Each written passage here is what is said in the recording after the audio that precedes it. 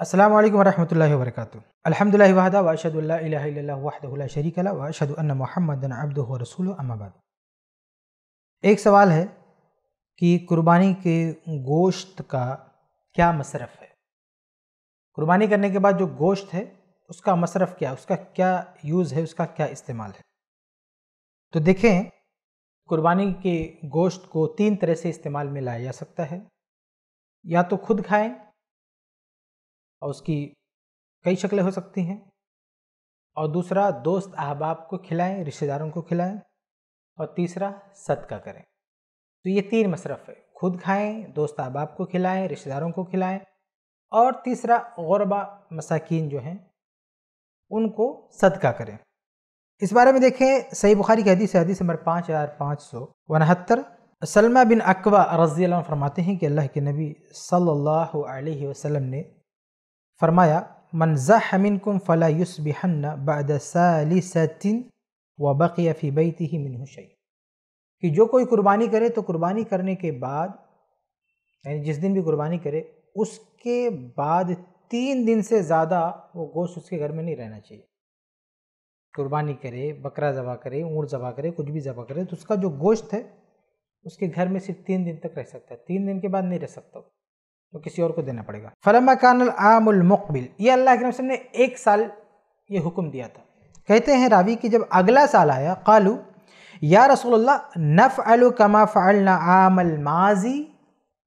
अल्लाह के रसूल सल्लल्लाहु अलैहि वसल्लम, जैसे हमने गुज्त साल, पिछले साल किया था, कि तीन दिन से ज़्यादा स्टोर नहीं किया था हमने, गोश्त को, बांट दिया था तो क्या इमसाल भी ऐसे ही करना है? तो आप सल्लल्लाहु अलैहि वसल्लम फरमाया कि कुलू व अतीमु व दखिरु।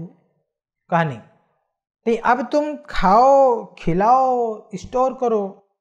कोई नदाली के आमा क्योंकि उस साल जो बात थी कहना बिन्ना से जहत लोग तंगी में थे, तकलीफ़ में थे। लोगों के पास खाने की किल्लत थी। फ़रत तो अनतुईनु फ़ीहा।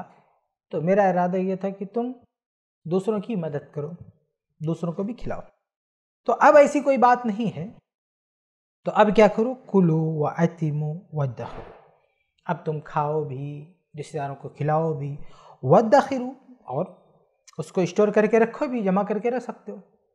तो देखें, इस हदीस में अल्लाह के नबी वसल्लम ने कहा, कुलू खुद खाओ। तो एक मसरफ़ ये है कि हम खुद खाएँ, जितना खा सकते हैं। हती कि व दखिरू भी है कि हम उसको स्टोर करके रख भी सकते हैं। जैसे आजकल फ्रिज की सहूलत है, आसानी से हम उसमें रख सकते हैं, बल्कि बहुत सारे लोग तो बड़ी बड़ी फ्रिज खरीद के लाते ही हैं, बकरे का गोश्त रखने के लिए।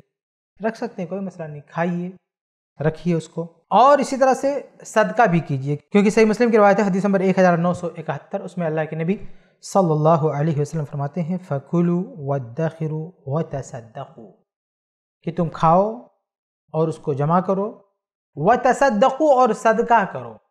तो ये दोनों हदीसें मिलाते हैं तो तीन मसरफ हमारे सामने आता है, कुर्बानी के गोश्त का। एक हम खुद खाएँ, दूसरा दोस्त, अहबाब, रिश्तेदारों को खिलाएँ और तीसरा सदका करें।